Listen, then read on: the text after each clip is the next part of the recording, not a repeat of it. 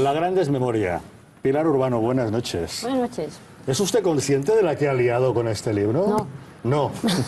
¿No se habla de otra cosa? Sí, pero bueno, seréis vosotros los que habláis, yo no, yo hablo del libro. No se habla de otra cosa, pero qué barbaridad. Eh, desde que el diario El Mundo sacó la primera entrega, en una entrevista con usted acerca de la inminente publicación del libro, ya el primer titular que sacaron en portada ya llamó la atención. Suárez propuso al rey revocar su dimisión un día después del 23F. Sí, eso es noticia, en, no sé por qué es noticia, eso es historia. Y, no es historia. y todo el mundo Ya 24. sacó. Pilar Urbano dice en este libro que el rey estaba detrás del golpe de Estado del 23F.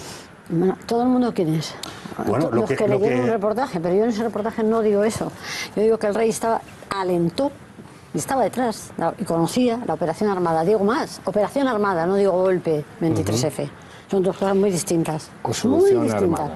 Lo que pasa es que una llevó a la otra no pretendiéndolo el rey, no pretendiéndolo el rey, no pretendiéndolo rey. Ajá, Sí, usted tuvo ocasión de explicar que esto fue en dos fases. El rey sí alentó la operación Hay- hay armada, momentos, sí. en el que Armada sería presidente de un gobierno de concentración y cuando finalmente se opta por Leopoldo Calvo Sotelo y se descabalga Armada, lo da por cerrado, pero es Armada el que no contento con esa solución es el que provoca el 23F. Esa sería la explicación La lógica. explicación que yo he ido recibiendo, yo, aquí habla hace un momento, perdón, que, mm, hay personas, colegas míos que se han molestado, me ha parecido, porque yo no iba a estar, el, el formato del programa y, el- y la agenda mía de estos días es de, de frenesí, no puedo quedarme a la tertulia.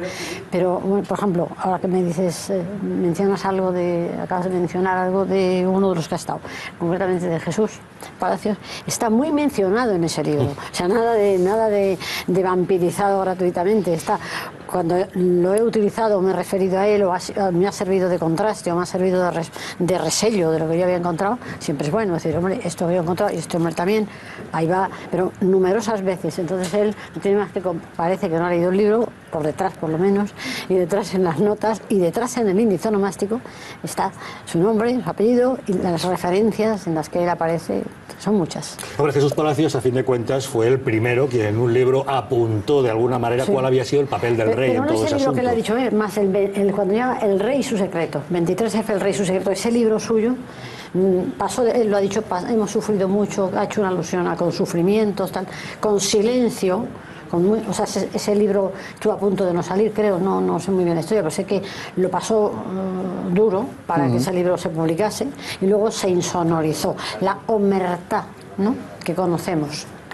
¿Es cuestionable Que el rey auspiciara la operación armada? Es, muy, es cuestionable, aunque eh, escrupulosamente no, no, no respetuosa con, con la Constitución, pero es constitucional.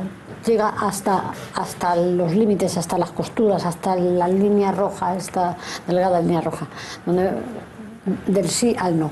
Entonces, había una, una motivación de Estado, puede ser, Puede ser según las audiencias del rey, las, las oideros del rey. El rey recibe un, por desde el año 79 al 80, concretamente el 80, más a partir de, de la primaria del 80, pues banqueros, empresarios, obispos, profesionales liberales, militares, muchos militares, eh, militares además generales con mando, y le van calentando la cabeza con la idea de que esto no marcha, esto no se embarranca económicamente, socialmente. Unos se quejan del divorcio, otros de la ley del divorcio, otros se quejan de la economía, otros de las muertes que hace ETA, otros del peligro de ruptura en la guerra del norte que llaman, o sea, de desmembración del Estado. Y el rey, yo creo que sí que se hace la composición en lugar de que hay, puede haber una crisis de Estado, puede haber una crisis de sistema, que esto se, se puede ir al garete, empezando por su, por su corona.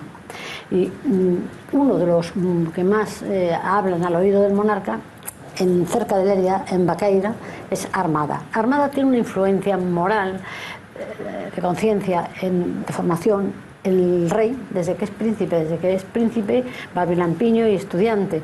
Entonces, son esas influencias caseras, domésticas, de quien me ha dicho los hombros rectos, la espalda, ta- o sea, esa influencia que con mucho respeto, con mucho respeto, pero le ha dado ha sido consejero del, del rey. Entonces, cuando ya rey adulto le dice que la solución es el problema es Suárez y hay que cambiar a Suárez, no le dice abiertamente póngame a mí, sino a un independiente.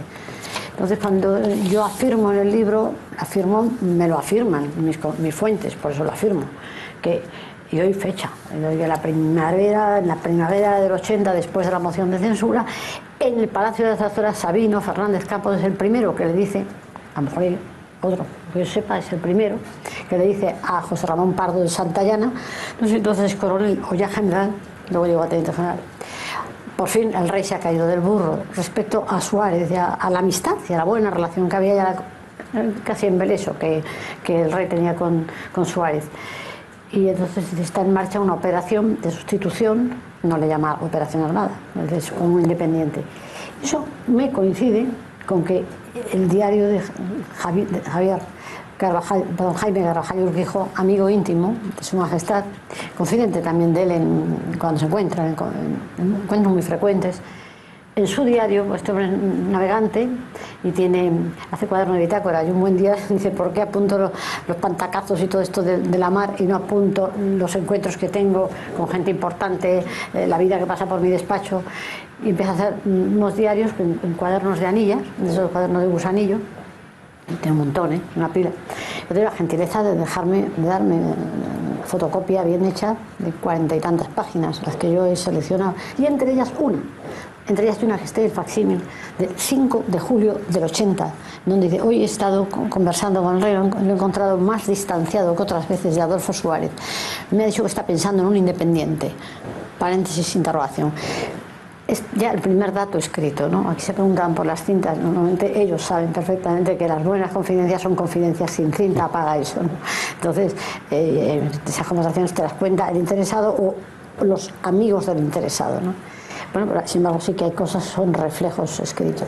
¿Era consciente el rey de que esa operación armada, al estilo Operación de Gol, aunque no fuera llegar al golpe de Estado, podía bordear la ilegalidad democrática? Mm, bueno, pues sí, no, yo creo que bordear, bordeaba, pero él pidió un informe de un constitucionalista para tener seguridad y lo pidió, o Sabino hizo que lo pidieran, pero el hecho es que Armada, yo creo que lo pide el rey, y Armada lo encarga, y el informe, Sabino mantuvo en la incógnita, mantuvo el secreto quién era el constitucionalista.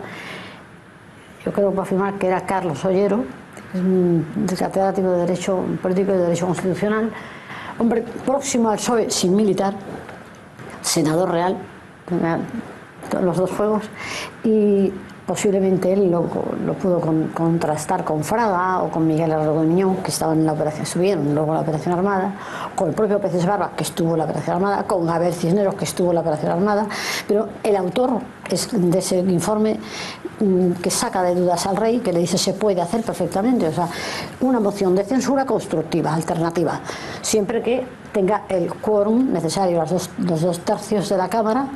Se trata de sumar votos de diputados muy diferentes, puesto que la anterior moción, la de Felipe González, había fracasado por falta de, respaldo. Y eso cabe, y que el candidato no cabe que no sea un diputado, ni un senador, ni un político.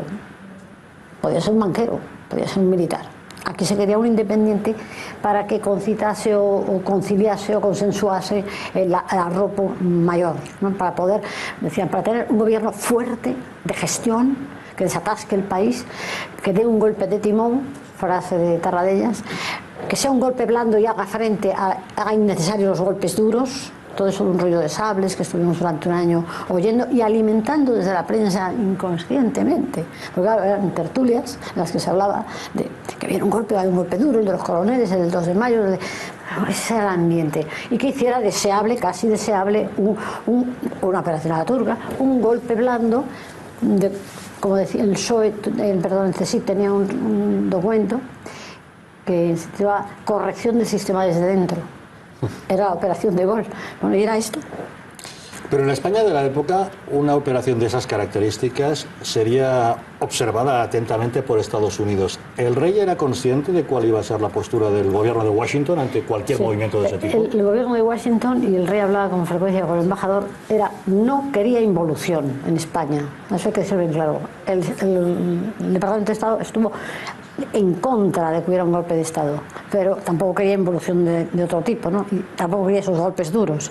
Entonces, cuando se habla, yo misma lo he dicho, en mi primer libro sobre el 23F, cuando venía yo indagué, hablaba y vi los datos de, de la sexta escuadra en vigilancia y tal, de Torrejón, pero no era para dar un golpe, era para evitarlo. Si hubiese que, además lo dijo Ted Stoneman, nosotros pusimos nuestras las fuerzas, las de la OTAN, no las de España, la gente de España que será poco, a disposición si hubiese habido una sublevación de ese tipo que se decía cruenta, decía golpe cruento.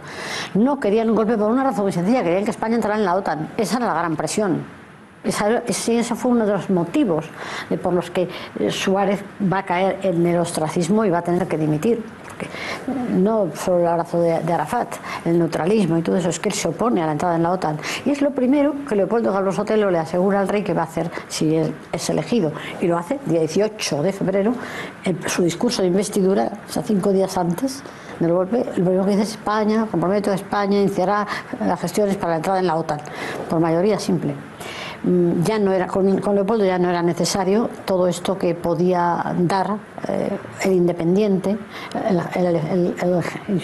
general blanco le llaman el general blanco el caballo blanco ese birlo blanco que gustase a todos y que iba a ser el general armada Pilar, eh, el no rey... quiero marcarme discursos porque luego el, os dicen, ha venido a marcarse un discurso. el rey es el, el commander in chief de las Fuerzas Armadas de nuestro país Sí. y usted describe una situación en la que unos generales y un almirante van a quejarse a Zarzuela, el rey hace llamar a Adolfo Suárez, esperan ahí una eternidad que llegue Alfonso Suárez, eh, cuando llega Adolfo Suárez eh, le dicen todo lo que les parece mal de su gobierno, hay un momento de grave tensión, un momento en el que un marino pone una pistola encima de la mesa y le dice, eh, estas son mis razones, ¿no? Luego hay una... ¿Cómo se puede explicar a los españoles que el jefe de las Fuerzas Armadas le deje señura al presidente del gobierno en soledad? Bueno, el jefe del Estado, que no gobierna, y que es jefe supremo de las Fuerzas Armadas, que no da órdenes, no puede decirle a un recluta, ah, por eso no puede decir, Jaime, te ordeno que, o sea, que metas los tanques. Después esta orden yo no puedo, no puedo dar orden, lo que pasa es que en aquel momento nos encantó a todos que las diera, porque eran órdenes A, constitucionales, estoy hablando ya del 23, y gracias a esas órdenes eh, mandó el poder civil, ¿no? Gracias a esas órdenes, pero no podía darlas. Luego Felipe González llegaría ya a establecer la cadena de mandos. No era un almirante el que puso la pistola, era Merry Gordon, Pedro Merry Gordon. ¿Cómo se entiende esa es la pregunta? Entonces, hay una cacería, muy bien, no voy a contar toda esta anécdota que es muy, muy interesante, ahí me ha costado bastante tiempo eh, eh, detectar cuál era la verdadera versión, porque había muchas, hay va- varias versiones, coincidentes, incoincidentes. Hay una cacería el día 21 de enero en, en el lugar nuevo y al rey le avisan de Zarzuela algo grave, algo serio, y entonces abandona la cacería, además con el revuelo de piezas, desorganiza cuando está con un, un heli- helicóptero. Llega a Madrid, llega a Zarzuela, aterriza en, en, la- en Zarzuela, y efectivamente tiene una visita inesperada, que son cuatro capitanes generales y un almirante. Y es a él al que empiezan a decir el chorreo de esto no, es más o menos el golpe de la turca, esto no puede ser, esto va mal, y entonces el un momento, eso es el jefe de gobierno, yo reino, yo no gobierno. Entonces llama a Suárez, no se hace esperar tanto, llega. Cuando llega, puertas deslizantes, correderas, dice, esta visita es para ti. Entonces Suárez planta, tiene agallas y planta cara al asunto. Hace bien el rey, dice, esta visita es para ti. Es que él no puede resolver nada. Él no puede ni debe. Él- eso lo ha oído ya muchas veces, pero él reina pero no gobierna. Díganselo al gobernante. Entonces Adolfo Suárez dice, señores, han- se han confundido de sede. Esto es la jefatura de Estado. Yo tengo mi sede en la Moncloa. Soy presidente de gobierno. Pidan audiencia y no en conjunto, individual, y se les dará y se les atendrá. Y entonces, tienes que dimitir, o tiene usted que dimitir. Entonces dice, deme una razón. Primero les dice, a mí no me, a mí no me obliga a dimitir ni cinco capitanes generales, ni 50, ni todo el ejército. A mí me, me obliga a dimitir o a mantener el poder los votos. Tengo 6 millones y medio, esa es mi garantía, esa es mi legalidad. Entonces, bueno, más o menos, in- recordando un poco la conversación, tú la has leído, también lo tienes quizá más fresco que yo. Yo, desde que entregué gale- galeradas en enero, entonces es cuando dice, denme una razón. Es cuando Pedro Merregordón, que ese día está no ebrio, está bien, está bien, no le apunta ni pone la, por encima de la mesa y dice, ¿le parece suficiente esta razón? Y Adolfo Suárez dice, no, eso me parece una amenaza. la conversación. Sin cintas, sin cintas, con, relatos, con relatos posteriores. Usted en el libro viene a decir algo así como que Suárez acusó al rey de haber jaleado él el malestar militar. y después, como mencionábamos, al día siguiente se destacó este titular de si Suárez quería mm, desactivar esa dimisión que ya había. Vamos a recordar exactamente el fragmento del libro al que hace referencia estas tensiones entre Suárez y su majestad el rey.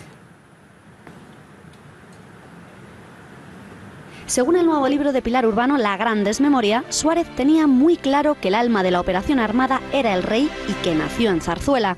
Luego Suárez y el rey discrepaban. Para el monarca se trataba de una solución. Para el fallecido expresidente, aquello fue un golpe de Estado. El golpe fue tan repugnante para Adolfo Suárez que un día después le propuso al rey revocar su dimisión y volver a la presidencia. Mira, yo estoy aquí porque me ha puesto la historia con 700 y pico años. Soy el heredero de 17 reyes de mi propia familia. La cosa está clara. Uno de los dos sobra. Y como comprenderás, yo no pienso abdicar. Nos la has metido doblada, alentando a Armada y a tantos otros, jaleándolos, dándoles la razón en sus críticas, diciéndoles lo que querían oír de la boca del rey. Tú mismo alimentaste el malestar militar. Esta situación la has provocado tú. ¿Pero de qué me hablas? ¿Me estás amenazando eso, cabrón? Tú no puedes retirar tu dimisión como presidente. Todavía no te has enterado de que has sido a ti a quien te han dado el golpe. Políticamente estás muerto. Tienes que saber poner punto final a tu propia historia. La dureza del encuentro fue tal que, según Suárez, Larky, un pastor alemán del rey, empezó a ladrar y se arrojó sobre el presidente. La dureza del encuentro fue tal que, según Suárez, Larky, un pastor alemán del rey, empezó a ladrar y se arrojó sobre el presidente. Casi me muerde los cojones, confesó Suárez a Pilar Urbano. Otro de los elementos polémicos es conocer que Felipe González se habría prestado a ser vicepresidente en el gobierno postgolpista tejido por Alfonso Armada, al igual que Alfonso Osorio, vicepresidente del propio Suárez, Miguel Herrero de Miñón y Manuel Fraga. Pilar Urbano sugiere que fue José Luis Cortina, jefe de operaciones especiales del CESID, quien allanó el camino para un golpe cívico-militar dentro del criterio de Zarzuela de corregir el sistema desde el sistema. Estas conversaciones que reproducen el libro son tan textuales y seguramente no hay cintas de las mismas que debemos entender que se las debió contar alguno de los protagonistas de la propia conversación. ¿Habló usted con Adolfo Suárez de esos momentos? De esos momentos, Adolfo Suárez en aquellos momentos no habló. Adolfo Suárez tampoco se fue a la trapa, a partir de ahí se fue a Panamá, ¿no? Se fue invitado por Aristides Rollo y mm, a Estados Unidos. Pues Suárez vuelve y cae en, en una digamos, una crisis de soledad, o sea, ve lo que ha hecho, ¿no? Lo que le han hecho, lo que le han hecho, ¿no? Lo han hecho en su propio partido, etcétera, tal. Pasa el tiempo, mm, no mucho, ¿eh? No mucho. En el año 82 él ya decide que se va de, mm, de la UCD y esa es una de las cartas que, mm, Adolfo Suárez Hijo conserva, ¿no? El rey le agradece todos los servicios que está porque el rey no quiere que siendo duque esté en activo en la política. Pero el momento en que él funda la CDS, el CDS, el Centro Democrático Social, empieza el auténtico enfado del rey eh, por haberle dado el ducado y tal. Y Adolfo Suárez, y vamos a lo de los relatos, Está, relata eso y todo lo que quiere y más, yo no digo que tenga todo, yo tengo suficiente, a varias personas de su entorno, José Meliá, Eduardo Navarro, Antonio Navalón, eh, a mí desde luego, a muchas otras personas. Digo a varias personas, por ejemplo, el otro día Arcadia Espada, a quien no conozco personalmente y que era entonces un alevín, un jovencito que trabajaba en el noticiero, en uno de estos de Cataluña. Lo cuenta él en un artículo otro día, dice, pues se escribió el año, lo sitúa en el 85, en aquella época en que Suárez necesitaba hablar y hablaba, hablaba, hablaba, no comía, no bebía y no preguntaba. Hablaba, hablaba, hablaba, intentaba desahogar. ¿no? Hay un tiempo en que Suárez habla, cuenta a quien quiere íbamos a hacer una película. Con su, yo le dije que quería escribir su biografía, me dijo, no, yo quiero una película. Y actuando yo, bueno, voy a que yo pasé y me dijo, sí me dijo, habrá cosas que no podré contar. Y Suárez se reservaba mucho, pero se reservaba muchas cosas, pero algunas las contaba. Entonces yo tengo en la, atrás el aparato de notas, que son casi 200 páginas, quién, de dónde tengo ese relato. Entonces ese relato concreto, ese concreto además, lo ha pormenorizado, lo ha desgranado. Suárez al menos tres veces a Antonio Navalón en tres momentos distintos y en tres lugares distintos, hasta incluso eh, indico la fecha, el lugar de Estados Unidos, qué ópera han, asistido, eh, luego han estado, dónde han cenado, en el circo de Siriaca, etcétera con las mismas palabras. Cuando una persona, se me ocurrió a mí, por ejemplo, con Sabino Fernández Campos, oyéndole el mismo relato en el año 85, en el 87, en el 2006. Cuando oyes el mismo relato con las mismas palabras, puede ser que se lo ha montado, se lo ha inventado y es, te está contando el mismo cuento o te está contando una cosa muy patética para él, ¿no? Yo, yo le creo. Usted dibuja un escenario en el que Cortina, el hombre del CESID, eh, recibe encargos de allanar la situación general para que el pueblo español entendiera mejor esa solución armada. ¿no? Eh, dibuja una, situación en la que Cortina entra y sale de Zarzuela un poco como Pedro por su casa. Sí, él lo ha negado. Lo ha negado. Y, y entonces yo me pregunto, ¿cómo es posible que el rey no supiera que alguien tenía previsto que Tejero entras en el Congreso. No, esa es Por cierto, alguien que le alquila los autobuses. Para el rey, ¿eh? yo tengo, yo, tal, sí, sí, tal, como no, yo, yo, no, sé lo que dirá Jesús Palacio, que porque he investigado mucho esto. Para mí, yo al lector no le digo que el rey esté implicado en el 23F, no solamente no lo mm. digo, sino que he dicho antes que eso se produce sin el rey, mm. para entenderlo. Y si lo supiera y lo tuviera bien investigado, lo habría puesto. Pero yo tengo que ser honrada. Y donde he llegado, he llegado. Y a donde no he llegado, yo no tengo pruebas de que el rey supiera que el 23F iba a haber el detonante de toma y asalto del Congreso de los Diputados con los diputados del gobierno dentro. No tengo esa prueba. Si otros la tienen, que la den. La estrategia mm, del detonante sorpresa se organiza del 21 al 23 de febrero, el fin de semana.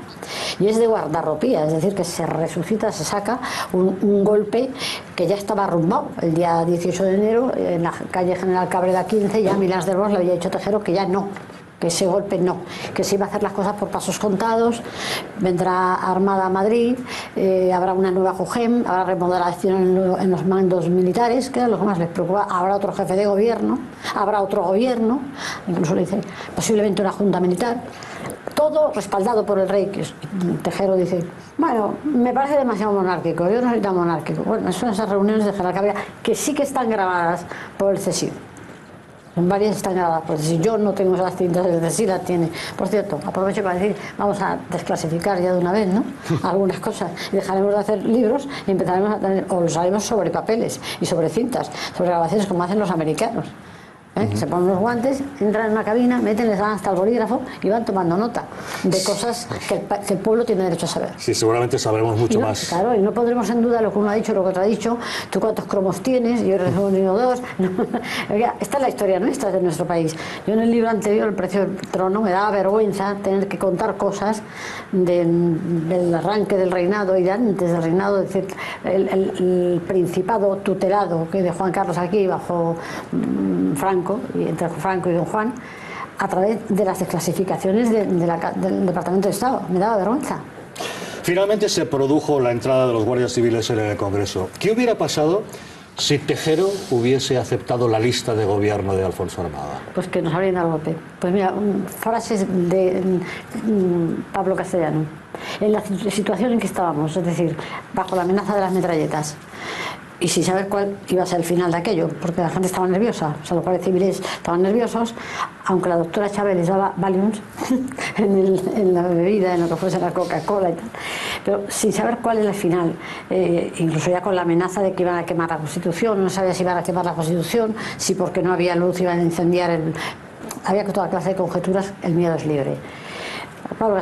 En esa situación se nos propone y nuestros líderes que están retenidos, los, están retenidos para, eh, para algo, posiblemente para negociar, los líderes de todos los partidos, se ponen de acuerdo en un candidato y ese candidato parece que es el general Armada, un hombre del rey, un hombre liberal y un hombre que ha viajado, que está en Francia, pues decimos que sí, vamos a Armada y Armadón, ¿no? Explíquenos un poco el libro. Antes ha dicho que entregó originales en enero, pero no nos ha dicho cuándo empezó a escribirlo y no nos ha dicho por qué sale ahora. Mucha gente dice que el libro es oportunista y a lo mejor se trata de una simple coincidencia con el fallecimiento de Adolfo Pues esto se puede explicar muy sencillamente. Mm, yo, el libro son 10 años de investigación, pues son los dos, el anterior tomo y este. Y algo más que tengo por si un tercer tomo, si, si sobrevivo. Bueno, 10 años de investigación, del año 4 al, al año 14, ¿no? estamos 14. ¿no? Escribir, escribir materialmente este libro, la redacción es un año de 366 días, de 4 de enero a 4 de enero, sin domingos, sin vacaciones, sin salir de esa habitación más que para lo imprescindible, pero con una bandeja de comida y una bandeja de cena. Como anécdota, perdí vitamina D, me dijo, ¿tiene usted la enfermedad de las monjas de clausura o de los monjes de clausura y de los presos? Digo, por las dos cosas, monja de planeta y- y presa de mí misma. Yo entrego el día 4 de enero, entrego lo que es el original, ¿no? Manuscrito. Empiezan ya las notas a pie de página, las notas de abajo, atrás, atrás, eh, los, mm, eh, las aleradas, las compaginadas, los índices onomásticos, no voy a aburrir, el proceso editorial. Y hay otra cosa más importante, la distribución. La distribución para que esté en el último punto de, de- Galicia y el último punto de Lanzarote a la vez y el mismo día. Luego hay una serie de, de grandes superficies que les ponen un hilito, un puñetero hilito de, de antirrobo, pero que es una manipulación ejemplar, ejemplar, muy, tardo- muy tardosa. ¿no? Y el libro, pues yo creo que está el momento que está listo. A mí no me gustaba la portada, me gustaban las letras esas, la cambiaron por otra, etcétera. Bueno, eh, esas cosas de última hora. Y hacer dosis de prensa. Y cuando ya estaba el libro para salir, se pone Adolfo Suárez González enfermo. Yo pongo un WhatsApp, estaba comprando zapatos. En la zapatería pongo un WhatsApp a Adolfo, hijo, y le, le digo que rezo, ¿no? Es grave. mm, y me interesa un poco, es tan grave como dice, no es solo un episodio respiratorio es un chequeo, no me acuerdo, más o menos es, es así el WhatsApp. Y él me contesta, porque enseguida, tranquila, hemos llegado a tiempo. No te preocupes, tranquila, hemos llegado a tiempo. Modo que yo, ese día, que el 18, no sé qué día es, yo no tengo noción de que vaya a morir Adolfo, ni por tanto, ni soy quien para empujar en todo ese proceso editorial. Yo digo una cosa ya que escapa a mí, que yo no sé ni dónde se hacen las tapas, ni dónde se hace nada. O sea, yo entrego mi libro y cuando yo he entregado mi libro, desmiento a alguien que ha dicho aquí que nos han dicho que o Lara o la zarzuela han manipulado, han tocado, han censurado el libro. ¿no? Que yo sepa, no, el libro está tal como yo lo entregué, tal como yo lo entregué. ¿Ha recibido usted alguna llamada de la Casa del Rey o del entorno del Rey ante la publicación de su libro? No, Sin embargo, es usted consciente de lo que han dicho de él. Tenemos la nota que hizo pública la Casa del Rey en la que destacaba algunos titulares, ¿la por ejemplo. completa? Es que yo no he visto nunca ese comunicado. Vamos a ver, el comunicado de la Casa del Rey tiene frases que dicen, el libro de Pilar Urbano es pura ficción imposible de creer. Después destacan también, las relaciones entre Suárez y el monarca han sido siempre de lealtad, respeto y amistad. Añaden también, cabe destacar el carácter impecable con el que el rey ha cumplido siempre sus obligaciones institucionales y tiene una última frase que dice, la Casa Real desmiente rotundamente la participación del rey en la operación armada. Esta ha sido la reacción de la Casa del Sí, Rey ante su no, no, libro. ha sido más que eso. ¿eh?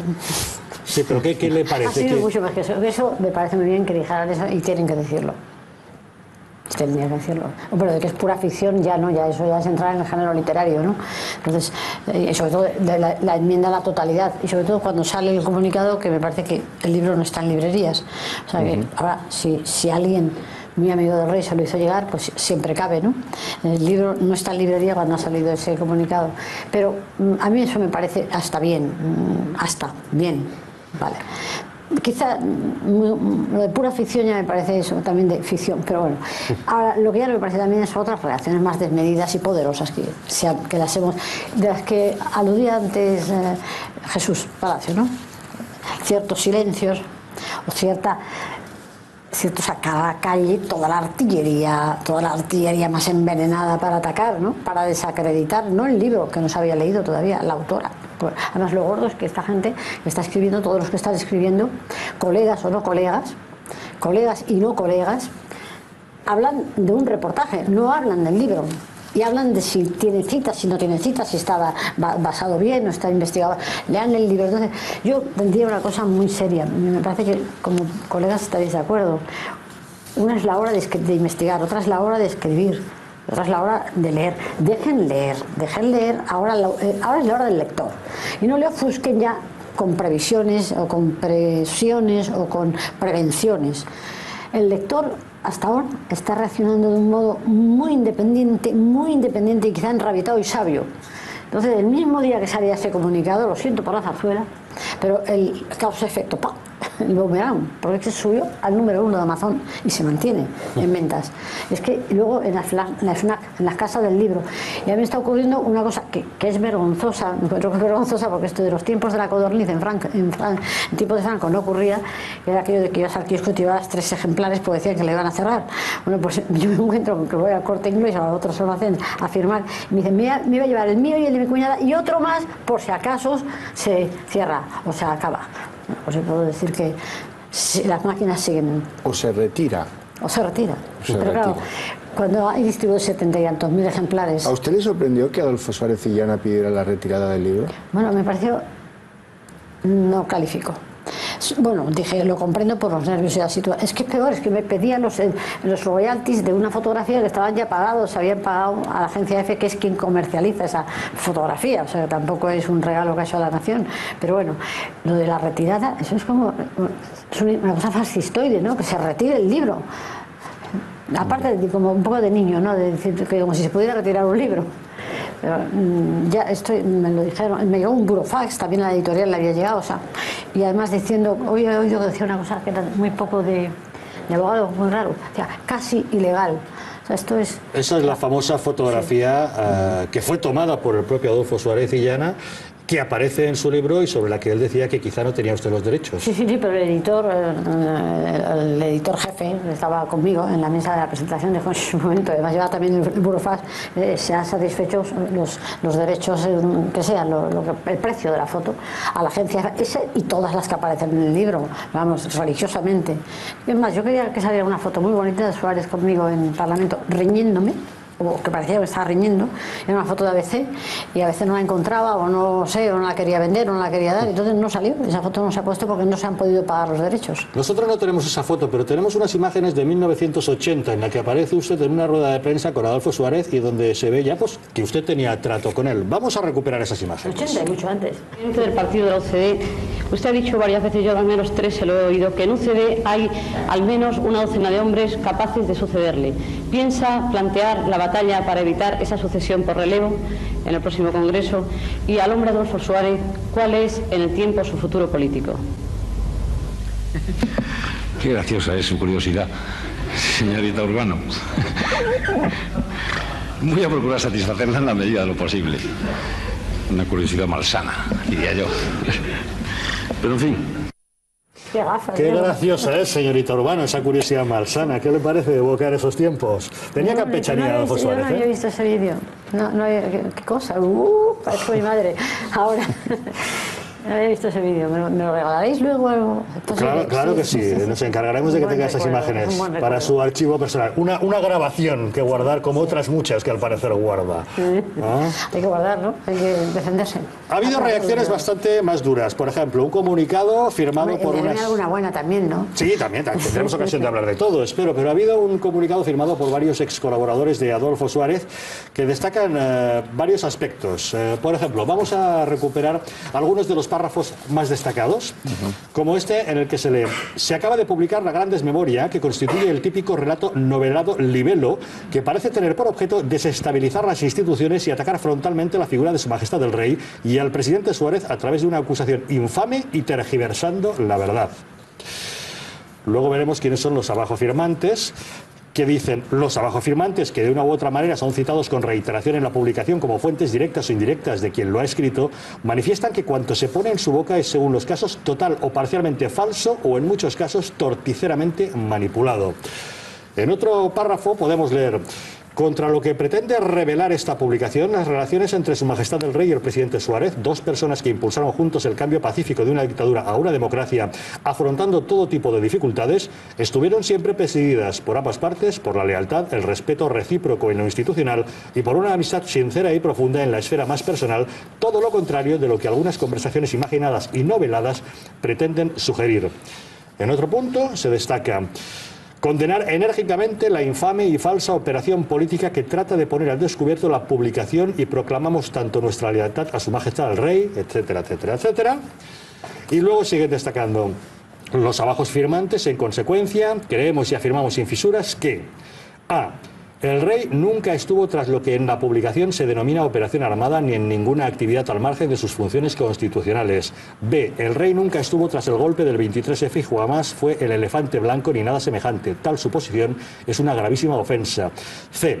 El rey es el rey y solo el rey quien desbarata y acaba con el intento golpista y devuelve a España a la normalidad constitucional. Y añade también, o la persona que ha escrito el libro ha perdido definitivamente el oremus escribiendo una novela ficción más que un libro de rigurosa investigación histórica o es utilizada con inexplicables fines. Y los abajo firmantes son Rafael Arias Salgado, el teniente general Andrés Casinello, Aurelio Delgado, Jaime Lamo de Espinosa, el general Fernando López de Castrofá, Rodolfo Martín Villa, Marcelino Oreja Aguirre, José Pedro Pérez Llorca, Salvador Sánchez Terán, Adolfo Suárez Illana. ¿Qué le parece este comunicado que hicieron rápidamente? Bueno, yo tengo en mi, tengo en mi, en mi agenda y en mi reloj también mis tiempos y tengo mi tiempo para contestar ese comunicado que creo que merece la pena. La respuesta no lo voy a hacer ahora. Lo tengo escrito, no lo voy a hacer ahora porque espero que todavía habrá más cosas. Entonces, debo decir, estos señores que todos ellos quedan muy bien en este libro, quedan muy bien reflejados, ninguno de ellos fue preguntado sobre el 23F ni sobre la operación armada, ninguno de ellos, porque no participaron, fueron más bien víctimas de, esa, de ese golpe de Estado y de esa operación. Ninguno de ellos estaba en ella. Ni, ni siquiera Pérez que es un, un miembro de la ponencia constitucional, de los padres constituyentes, que cinco sí estuvieron, pero él no y Roca tampoco. Entonces, con ellos he hablado reiteradas veces y en este libro mm, figuras que, las que tengo que poner y otras no las, no tengo por poner, pues no todo era útil, no todo era útil para este libro, pero nunca de estos dos temas. Entonces, Martín Villa, quiero creer que él no desmiente que fue veraz cuando me contó lo que le pregunté, que era la legalización del Partido Comunista porque era el ministro de Interior y la vivió en primer, en primer plano, como casi protagonista. Él es el que informa rey, me lo contó muy bien, creo en su palabra, le creí entonces, le sigo creyendo al margen de ese comunicado. Rafael Arias Salgado es el hombre que me contó como los, discursos de Suárez, aquellos que tuvo que hacer cuando la dimisión, que eran discursos a los varones, al Sanedrín, al pueblo, a la televisión, todo eso se preparó y el intento de Suárez de revocar la dimisión que no que era simplemente porque había visto al candidato en el suelo, ¿eh? a y porque vio que no era la solución y que el golpe se lo habían dado a él. O sea, fue vergüenza torera. Y no era para quedarse con el poder, no para aferrarse con el poder, sino para mm, reconducir la, la, situación desde la democracia y dejar la situación arreglada. Rafael Arias Salgado me relató con toda normalidad y supongo que con toda sinceridad como él le dice a Suárez, no, no es posible, presidente, hemos llegado tarde en el proceso, tendría que retirarse de Leopoldo. Bueno, eso no tiene nada que ver con la operación armada ni con el golpe de 3 Podríamos seguir así con todos los que han salido. Y con el señor Casinello, que queda muy bien este libro, porque queda como el, informa, el que pone la alerta, eh, la estación de alerta que tiene Suárez en Moncloa, aunque no esté en Moncloa físicamente, y que por cierto 23F da una línea telefónica a, a Moncloa que le habían cortado las líneas y mm. muchas cosas. Es un hombre muy de Suárez, muy leal y que trabaja en los servicios de información y que queda perfectamente, vamos, creo que perfectamente bien en este libro. Nunca he hablado con él. Siempre me han hablado de él, todos los colaboradores de Suárez decían esto, lo arregló Casinello, esto lo hizo Casinello. Yo he creído a toda esta gente, ¿no? Bien, no creo que ahí me desmientan a mí. No han leído el libro ese, porque esto también estamos en, el día uno, dos o tres, que todavía no. Tres de abril. Entonces el libro sale por la tarde y alguien comentó, alguien de mi editorial dice, bueno, pues habrán tenido dos horas, tres cuartos para leerlo. Yo creo que se tarda algo más, ¿no? Tarda algo más. Y luego le darían algún tiempo para hacer ese comunicado y para ponerse de acuerdo en la, eh, yo no digo conspiración, pero la congregación, en la congregación de, ¿cómo se llama esto?, de desmentidos, ¿no? muy variopintos y muy lejanos en instante. Por ejemplo, Adolfo Suárez, hijo, no se hablaba con Aurelio Delgado, que ha aparecido ahí. Y Adolfo, Aurelio Delgado me explica incluso cómo se excita un perro él fue que me habla de cómo se excita pero no de, no de la escena de violencia, porque Suárez no se la contó. Dijo, algo hubo porque los, venía muy bravo, venía muy bravo Adolfo. Pero me dice, basta, basta, me dice, he sido criador de perros y entrenador de perros. No me acuerdo de, ese detalle, pero Y ahora no, o sea, no, pueden, no pueden desmentir que han hablado, no pueden desmentir que han informado. Si lo hacen, pues ellos mismos, pero yo creo, sigo creyendo que son todos ellos unos caballeros, que lo que me dijeron es auténtico, es verdad, casi todo lo contraste, y que nada de ello tenía que ver ni con el 23F ni con la operación armada. En cuanto a todo el nivel y la ficción y la torticera, las intenciones, todo eso ya es una fronda de juicios de intenciones que es querer entrar en mi cabeza, en mi mente, en mi conciencia. Ha mencionado usted la reacción de Adolfo Suárez y Llana. Eh, al día después de, que se publicara ese primer extracto, dijo: No tolero que se utilice a Suárez para darle una bofetada al rey. Vamos a ver cuáles eh, han sido las reacciones del hijo del expresidente. Domingo 6 de abril de 2014, el hijo de Adolfo Suárez aclara el papel del monarca y de su padre en el golpe de Estado. No tolero que se utilice a Suárez para darle una bofetada al rey. Infamias. Me siento obligado a hablar ahora para salir al paso de las infamias que se están publicando estos días sobre mi padre y sobre el rey. Grotesco. Me parece grotesco el relato de una reunión entre ambos el 24 de febrero, en el que se dice que hay una bronca monumental entre los dos revertir la dimisión. Es cierto que mi padre pensó en revertir su dimisión a raíz del golpe, pero ese debate con sus colaboradores no duró ni horas. La dimisión. En una anotación hecha en un sobre, Adolfo Suárez escribe. La decisión de dimitir no fue tomada por ningún tipo de presiones y mucho menos militares. Fueron un conjunto de consideraciones personales sobre la situación política general, sobre el partido. Y en el reverso del sobre añade la oposición de la oposición, etc. Decisión conjunta. El rey y Suárez llegan conjuntamente a la conclusión de que tiene que dimitir para que la obra realizada pueda seguir adelante. La UCD. Con todo el dolor de mi corazón, tengo que decir que sus compañeros de partido son los principales actores de la dimisión de Suárez. Agosto del 80. La decisión de dimitir la toma mi padre en agosto del 80 en Galicia y a la vuelta de las vacaciones se empieza a preparar la sustitución. Tras el abandono de UCD, el rey escribe a Suárez. Mi queridísimo Adolfo, ya sé que intentaste hablarme por teléfono para informarme de la decisión que habías tomado de dejar el partido de UCD. Te agradezco muchísimo esta primicia y que me la hicieras llegar como muestra de esa lealtad que siempre me has mostrado y que tanto aprecio. Armada. El rey y Suárez tuvieron muchas discusiones sobre Armada. Ese hombre le va a traicionar, le decía mi padre, y de hecho lo hizo. Nunca jamás. Nunca jamás llegó mi padre a acusar al rey de estar detrás del golpe de Armada. Lo puedo afirmar con rotundidad. Nunca jamás. El elefante blanco. Se afirma que Suárez cree que el rey es el elefante blanco. Es delictivo. Pone en boca de mi padre que el rey es un traidor a España. Adolfo Suárez aportaba estos documentos inéditos en la edición de ayer del diario El Mundo. Hoy, en la edición de hoy, continúa con otros que ahora tendremos ocasión de abordar. Pilar, Adolfo Suárez más allá de ese burofax reclamando los derechos de la fotografía, ¿ha tenido usted ocasión de hablar con él ante toda esta polémica? No, no ni, ocasión ni, ni deseo, claro, ninguno. Yo no sé, pues, creo que Jiménez Los Santos, eh, ya que habéis sacado tanto papel de, archivo, hoy ha escrito una columna en ese mismo periódico diciendo que, le hagan duque, que, le hagan duque pronto, porque como sigue aportando estos datos se va a cargar la transición, la monarquía, la democracia. Hay una nota que es interesante ahí, que es eh, nota histórica, histórica, de esas que cuando afirma que en el 80, a mí también me lo dijo en una conversación en el 2006, 13 de enero de 2006, en su casa, en despacho, casa local de Ferraz, de Ferraz 2, me dijo, en verano aquel del 80, en La Toja, eh, mi padre decide ya la operación de relevo y que sea Leopoldo y tal. Eso es lo que puedo contarle a él. En septiembre, en ese año, en septiembre del 80, es cuando ya empieza la operación armada, que hemos visto que el inicio es en julio, se va a poner en marcha, en agosto se pide el documento del, constitucionalista y en septiembre empieza la operación armada.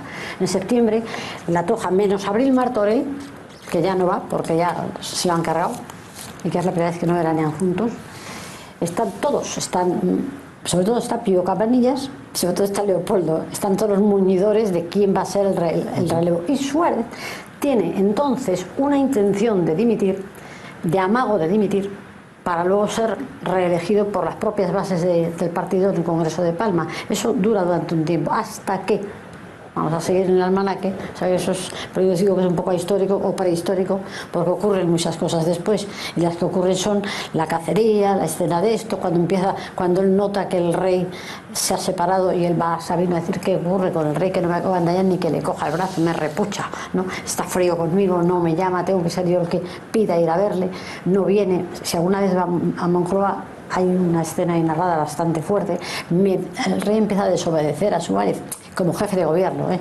el tema de destituir armada o de no ir al País Vasco, de cosas que Suárez está diciendo no o sea, el rey sí. Y hay momentos que tienen gran discusión. El rey, eso de uno de los dos sobre cuando dice, oye, parece que juguemos al blanco y al negro, al perro y al gato, a decirnos lo contrario. Diga yo lo que diga, tú te opones. Ya, empieza a haber hay una, una acritud entre los dos y una ruptura del feeling, del buen feeling, ¿no? Cuando dice yo recibo en mi casa quien quiera, porque el rey puentea un poco a Suárez, bastante, con embajadores, con, concretamente con Denis, el embajador francés, ¿no? Y se entiende con De Gaulle. Eh, puenteando y con eso otras muchas cosas, hay muchos detalles.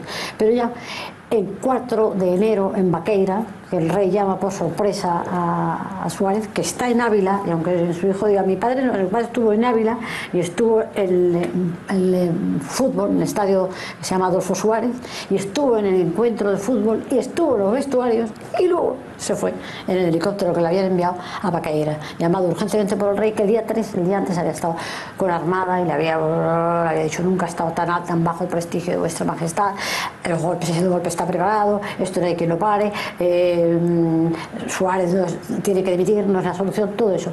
Entonces ya el rey, todo esto se lo suelta a Suárez 4 de enero, cuando podía, en Baqueira, cuando podía decir solo al día siguiente 5 en Madrid, porque era víspera de la Pascua Militar. Entonces, esa nota de del hijo de Suárez, pues es cierta, pero histórica, porque en ese momento no encaja con lo que estamos. La presencia de Pilar Urbano en el Gato al Agua ha despertado una gran expectación entre la audiencia. Sepamos cuáles son las preguntas que quieren formular los gatoadictos. Beatriz, cuéntanos. Son muchas las preguntas que nos están llegando. Vamos a leer algunas, las que más han llamado nuestra atención. Nos dice, por ejemplo, un espectador, bueno, eh, la señora Urbano ha dicho que las mejores conversaciones se producen sin cintas, por lo tanto entendemos que no tiene grabaciones. Y le preguntan, espectador, ¿teme que la denuncien por sus revelaciones en la Gran Desmemoria? No. Yo creo que ver, yo creo que aquí estamos desde que el, 6 de diciembre de 1978 firmamos y votamos una, yo, voté una constitución democrática, yo creo que estamos en democracia. Entonces, ¿cómo me van a, mí? Yo tengo el derecho de investigar, tengo el derecho y el deber, pero tengo el derecho de obtener y transmitir información veraz, artículo 20 de la Constitución. Si esto lo ponemos en duda y además se dice ya en las ondas, la gente va a creer que estamos censurados. Esto no es la dictadura soviética. Yo puedo, a mí el castigo que me pueden imprimir son los lectores no comprándome un libro, como a un periódico, un mal periódico, ¿no? No nos compran, no vendemos, no, no movemos kiosco. Ese es el castigo, ese es el voto. Clarísimo. Seguimos. El señor Urbano está segura que hasta hace nada, bueno, se whatsappeaba con Suárez y Llana. ¿Por qué cree que ha cambiado de actitud? ¿No conocía el contenido del libro? ¿No sabía por dónde iban los tiros? No le gusta el libro. No lo ha leído, porque cuando él reacciona, no lo ha leído. No sé si ya lo habrá leído, pero he dicho que no se puede hacer otro monumento, otro memorial más elogioso, sin pretenderlo también a Adolfo Suárez que este libro. ¿Usted achaca el cambio de actitud entonces a que no le ha gustado el libro, aunque no lo haya leído? No, no lo ha leído. Yo creo que no ha tenido tiempo. Ha reaccionado inmediatamente con, una, no sé, con un exceso de, de lealismo a su majestad. Seguimos. Más preguntas de los espectadores. ¿Le consta que hayan existido presiones para vetarla en algunos medios de comunicación? No he estado en ellos, o sea, no, estoy en las red cámaras, en las... Ah, así, a mí eso me consta, como a decir lo de las cintas, a mí no me puede constar. ¿Y le sorprende? ¿Le sorprende que no haya habido más llamadas, más entrevistas? Yo he tenido muchas llamadas, luego ha habido, por lo que sea, instrucciones que habrán recibido en determinados, en determinados espacios, determinadas presentadoras o presentadores. Y como yo también tengo dos agendas eh, alternativas, yo he ido a otras cosas. Eh, que luego vaya a ir a aquellas que me llaman, no lo sé, yo no me organizo la, agenda.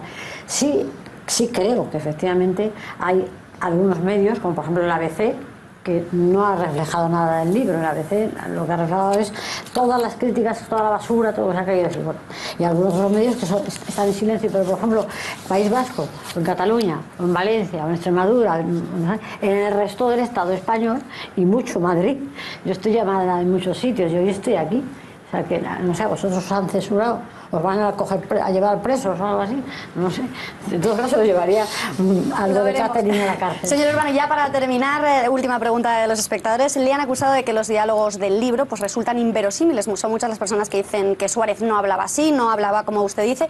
¿Por qué decide entrecomillar esas conversaciones como si las tuviera grabada o como si hubiera estado usted presente? Porque las tengo transmitidas, oídas, oyen, oídas por mí o transmitidas por personas que las han oído varias veces y que me indican dónde, cuándo, cómo y me las repiten una, dos y tres veces en distintos momentos. ¿Y las tiene varias grabadas? horas, y que son de la intimidad, gente de intim- No, no, no tengo por qué tener. Mira, las grandes en periodismo, y esto lo tienen que saberlo, es bueno que lo sepan los lectores, no sabes a decir, las buenas conversaciones son a micrófono no son las confidencias. ¿no? Y luego, y a veces te dicen, pero esto vas a decirlo todo, y luego viene también el pacto, que cuento y que no cuento. Y hay cosas que dices, no puedes contar. Cuando yo he hablado con Adolfo Suárez, no me he contado al principio del programa Gracias. que querido. Muchas gracias, señor Urbano. A ver si nos da tiempo a una segunda ronda porque tenemos muchísimas, muchísimas más preguntas. Más preguntas. Tenemos también nosotros algunas que formularles, entre otras las que nuestros propios analistas al principio del programa han expresado. Hoy, Pilar Urbano, en El Gato al Agua, hablándonos de la gran desmemoria. Hasta ahora mismo.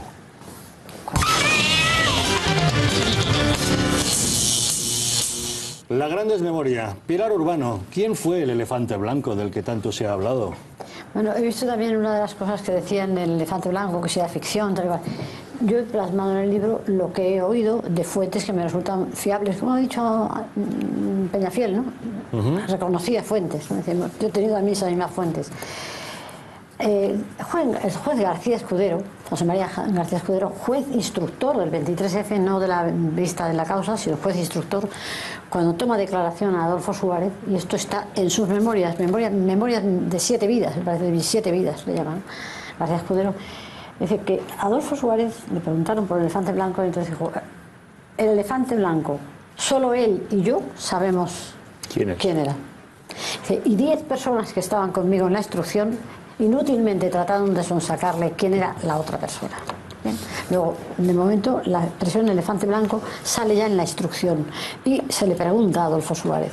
Después, mm, más adelante, el tema del elefante blanco, mm, dice el propio rey, en el libro de Vilayonga, Conversaciones con Vilayonga, en la versión francesa Aragois, o en la inglesa, que luego es traducida, y esa sí que es cortada y censurada por Sabino y por Almansa en Zarzuela, cuando se hace en español, la versión en español, hay 45 modificaciones, más o menos importantes, pero algunas sí importantes. El rey en la primera versión decía, yo desde el primer momento sabía que era el elefante blanco. Sabino dijo, "Eso hay que quitarlo inmediatamente.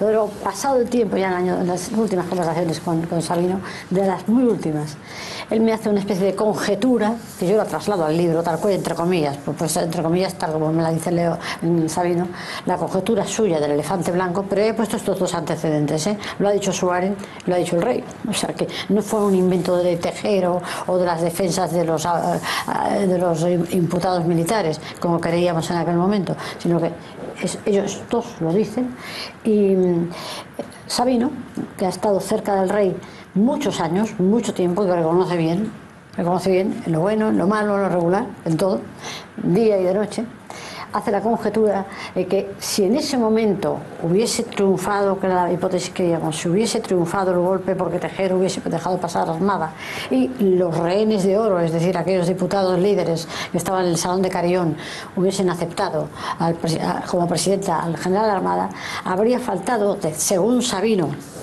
Evangelio de según Sabino, según Sabino, habría faltado quizá una imposición de manos, una presentación al pueblo de decir, bueno, esta operación yo la respondo, la doy por buena, no- o he tenido o me he presentado en- allí en Parlamento para tener las consultas, que eso es imprescindible, ¿eh? para que hubiese habido esa operación dentro de la Constitución, el rey tenía que evacuar consultas con los diputados, mm, representantes de los partidos con grupo parlamentario, si ellos no podían ir a Zarzuela, el rey tendría que ir al Parlamento. Tenía que evacuarlas. Todo esto estamos en el supuesto de que Tejero lo hubiese dejado pasar.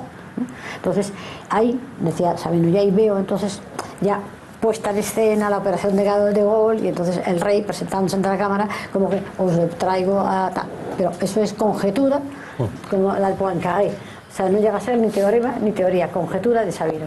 Los analistas que nos van a acompañar a continuación y que han lamentado no poder eh, debatir hoy con Pilar Urbano, sí nos han transmitido algunas preguntas. Varias de ellas han salido ya a lo largo de esta conversación, pero por ejemplo, no ha surgido la que planteaba Pepe Oneto, que decía, doña Pilar, ¿cuál es la reacción en el Opus Dei donde usted milita?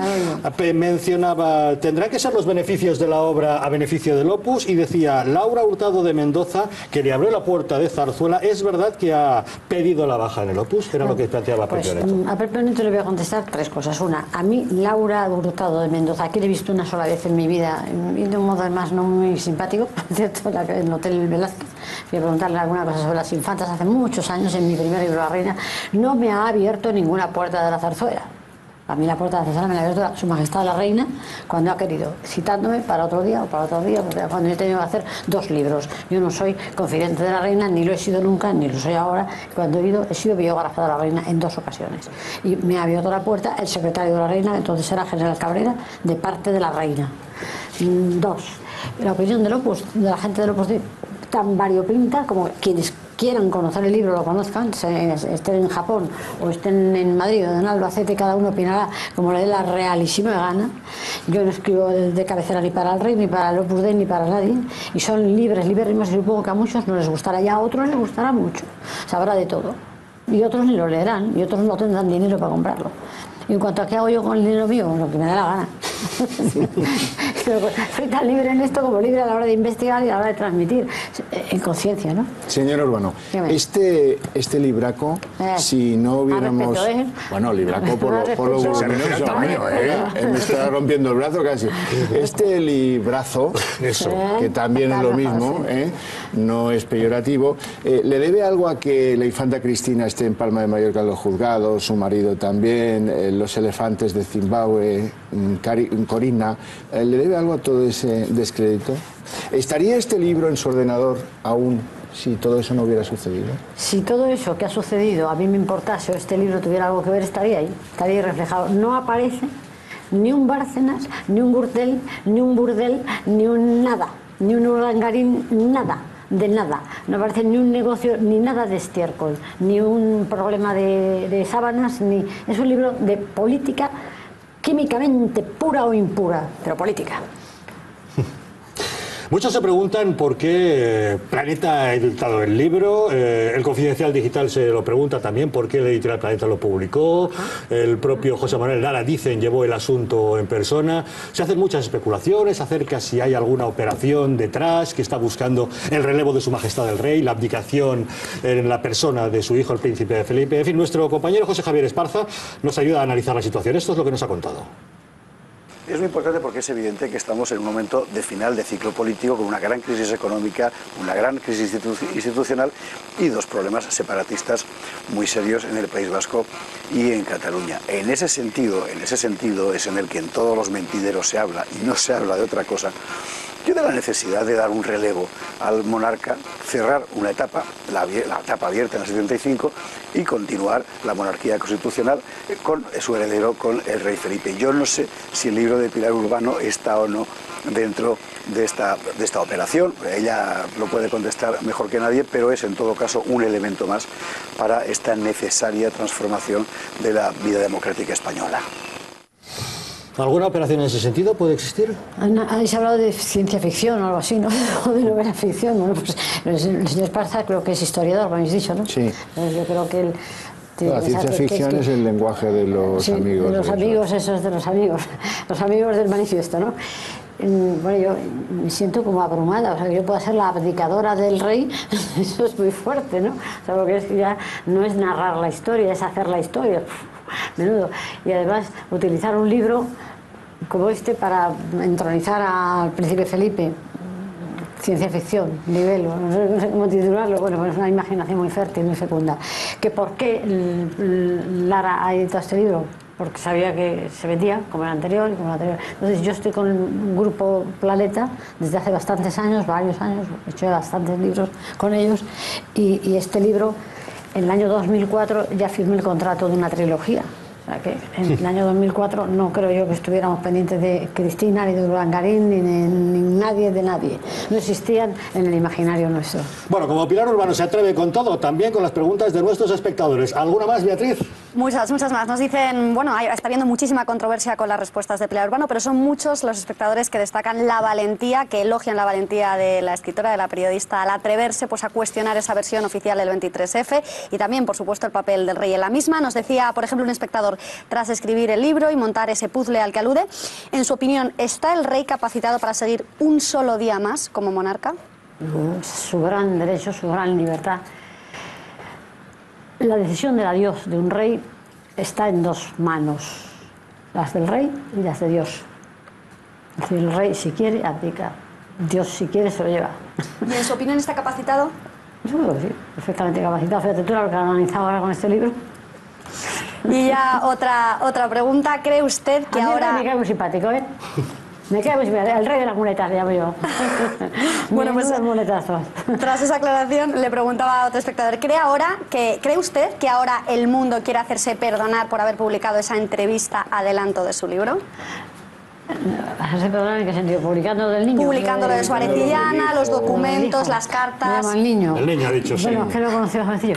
Bueno, pues lo sigo viendo, mm, criatura. El mundo no tiene por qué hacerse perdonar de haber publicado una cosa ni de otra. Lo que sé es que a veces ha, ha crujido porque no le han dado a él las cartas del duque o del hijo del duque. Entonces eso sí que lo sé, que hay unos telos mediáticos, pero eso, que se peleen entre ellos. O sea, yo no, no entro en eso. A mí me parece que el mundo no tiene que hacerse perdonar por tener un scoop como la Copa Un Pino, que fue un scoop, ¿eh? una entrevista de ocho páginas o siete páginas. Yo estaba en Roma, entonces, y la, la leía a trocitos y en el móvil. o sea que no pude tener ni siquiera el morro de decir, oh, qué entrevistaza. No, no he terminado de leer. Pilar Urbano, gracias por venir al Gato al Agua para despertarnos la memoria con la gran desmemoria. Muchísimas gracias por haber hablado sin tapujos en, en este programa. Yo lo he hecho con mucha tranquilidad, lo he hecho con mucha confianza y como montándome en mi casa. Más adelante, si volvéis a invitarme, y como ya no tengo edad de cárcel, podré venir. Pues, pues que dese usted por invitada. Muchísimas gracias. Nosotros seguimos con el gato. Hemos de hablar de la gran desmemoria y lo vamos a hacer con Melchor Miralles, con Pepe Oneto, con Jaime Peñafiel, Jesús Palacios y Eduardo García Serrano. Ahora mismo.